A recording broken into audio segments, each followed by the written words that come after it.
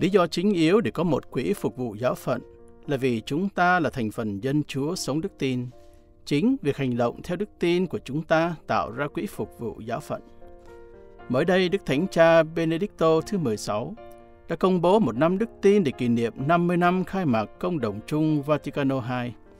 Công đồng chung tuyệt vời ấy đã mở ra những cánh cửa của giáo hội mà tiếng Ý gọi là aggiornamento, có nghĩa là cập nhật hóa đức tin, nhưng cũng là việc làm cho năng lực của đức tin được thể hiện ra bên ngoài một cách mãnh liệt hơn trong sứ vụ truyền giáo. Tôi nghĩ rằng quỹ phục vụ giáo phận là đức tin thể hiện trong sứ vụ. Hành trình đức tin của tôi thực sự đã bắt đầu với cha mẹ tôi. Khi lên đại học, tôi được biết về Cà phê Catholica và đó là điều mà tất cả mọi thanh niên đang tìm kiếm và nó đã thực sự làm tôi cho phấn khởi. Cà phê Catholica là một trong những chương trình thành công nhất về mục vụ thanh niên. Năm vừa qua, chúng ta đã có hơn 2.000 thanh niên tham gia các khóa học kéo dài 4 tối thứ hai liên tiếp. Họ là tương lai của hội thánh. Do đó, duy chỉ điều này thôi cũng đủ để chúng ta đầu tư vào việc hỗ trợ các thanh niên ấy, vì họ là phần tử của tổng giáo phận chúng ta. Có rất nhiều thanh thiếu niên nam nữ đang tìm kiếm một cuộc sống tâm linh sâu xa và xác thực hơn trong cuộc sống của họ. Chúng ta đang hỗ trợ việc kết nối sâu sắc hơn giữa đức tin và những người trẻ này. Ngoài cà phê Catholica, tôi đã tham gia vào các chương trình thanh niên ở một số giáo xứ. Lúc ấy, đời tôi đang xuống dốc khi mà nhiều người trong các bạn bè tôi đã chuyển sang các giai đoạn, các trong cuộc đời của họ. Tôi đã tìm kiếm một cái gì đó, tìm kiếm để tham gia, tìm kiếm những người thanh niên như tôi. Tôi cần tìm một hướng đi và đã ghé thăm một vị linh hướng ở nhà thờ St. Vincent de Paul và đã nghĩ tới tham gia chương trình thanh niên ở giáo xứ St. Anne và tôi đã tìm thấy những gì tôi đã tìm kiếm và tôi quá thích chương trình này đến nỗi tình nguyện làm một nhân viên. Trong 5 năm qua, chương trình mục vụ thanh niên và sinh viên tại các đại học đã phát triển rất nhiều, nhất là hai năm gần đây. Tính ra, các chương trình được văn phòng mục vụ thanh niên và sinh viên tổ chức đã gia tăng khoảng 250% trong 5 năm.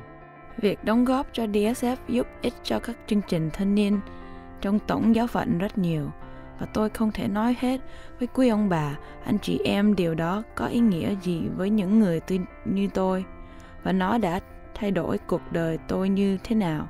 Tôi mang ơn các chương trình thanh niên rất nhiều. Tôi đã phát huy những tình thân hữu suốt đời và đã tìm thấy một nơi để thuộc về và một nơi để phát triển đức tin của mình và trở nên gần gũi Thiên Chúa hơn. Đức tin hoạt động qua đức ái và phần cuối của thư gửi tín hữu Galate là một bài suy niệm rất hay của Thánh Phaolô.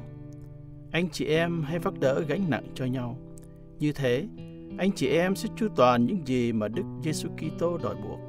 Một trong những việc bác ái mà chúng ta có thể làm để việc chia sẻ gánh nặng với nhau bắt đầu có hiệu quả là hỗ trợ văn phòng ơn gọi của Tổng giáo phận. Văn phòng đặc biệt này giúp các thanh thiếu niên nam nữ của chúng ta suy xét để nhận ra ơn gọi vào đời sống thánh hiến làm linh mục hay tu sĩ. Đức tin và đức ái phải được chứng tỏ cách hữu hình. Chúng ta phải sống nó, phải thể hiện nó ra bên ngoài. Nó không thể chỉ là điều gì chúng ta mang trong lòng hoặc trong trí khôn của mình. Chúng ta phải đưa nó ra mà thi hành. Tôi nghĩ tất cả mọi người trong tổng giáo phận đều biết rằng chúng ta càng ngày càng phát triển, càng thêm các tín hiệu, nên chúng ta cũng cần thêm các mục tử. Tôi đã nghe được ơn gọi phục vụ qua cuộc đời của Thánh Teresa de Avila. Điều khiến tôi quyết định trở thành một linh mục thực ra là cái chết của bà ngoại tôi. Đã từ lâu bà hằng cầu xin có một linh mục trong gia đình và khi bà mãn phần tôi nghĩ rằng tất cả ân sủng, tất cả những lời cầu xin khác nhau của bà đã được nhậm lời và tôi thấy mình được linh hứng để đáp lại ơn gọi, để làm người trong gia đình trở thành một linh mục. Điều chính mà trung tâm Newman đã cung cấp cho tôi là tình bằng hữu và tình huynh đệ và sau đó là văn phòng ơn gọi. Họ đã thực sự chỉ cho tôi hướng đi và nếu không có nó, tôi sẽ thực sự chẳng đi đến đâu. DSF là điều cho phép chúng ta hỗ trợ các chủng sinh và các nữ tu bước vào ơn gọi với sách vở, với việc học hành và tất cả những nhu cầu khác nhau mà họ cần đến. Chúng ta có một chương trình tái định cư những người tị nạn trong tổng giáo phận được tài trợ một phần bởi DSF. Đức tin hoạt động qua đức ái, vác đỡ gánh nặng cho nhau. Điển hình là trường hợp một phụ nữ trẻ đã phải chịu đau khổ rất nhiều tại quê hương của chị. Chúng ta đã có thể đưa chị ấy qua chương trình tái định cư những người tị nạn. Đến đây, đến Tổng giáo phận và chị ấy hiện đang có cuộc sống rất tốt đẹp. Trong việc cố gắng hơn nữa để giúp đỡ những người tị nạn, chúng ta quả thực đã chứng tỏ mình là những Kitô hữu có đức tin và việc làm. Tên tôi là Julie F. Tôi đã được sinh ra, lớn lên ở Pakistan và là một Kitô hữu. Tôi bắt đầu làm việc tại phòng điện thoại công cộng từ khi 16 tuổi. Vào một ngày kia, có một khách hàng thấy tôi đeo thánh giá trên cổ. Ông ta tạt axit vào mặt và người tôi.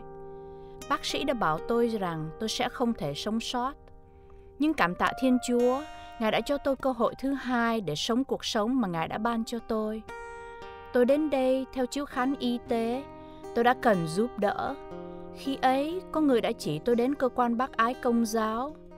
Đối với tôi, nước Hoa Kỳ là một vùng đất hứa. Cơ quan bác ái công giáo đã giúp tôi nộp đơn xin làm công dân. Hiện nay, tôi là một công dân Hoa Kỳ. Tôi muốn cảm tạ Thiên Chúa và tất cả những người đã đóng góp cho DSF.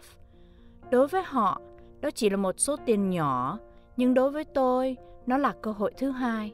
Nhờ DSF, đức tin hoạt động qua đức ái. Điều này có thể giúp chúng ta thấy sự tự do của mình xinh đẹp thế nào khi chúng ta thực thi đức tin của mình. Nhưng khi chúng ta thấy những người khác, những người nhờ sự giúp đỡ của DSF có thể thực thi đức tin của họ, điều này giúp chúng ta yên tâm và sinh động hơn trong cách chúng ta sống đức tin công giáo và củng cố đức tin của mình. Và tôi có thể xác quyết hỗ trợ DSF là một cách sống đức tin thực sự trong hành động.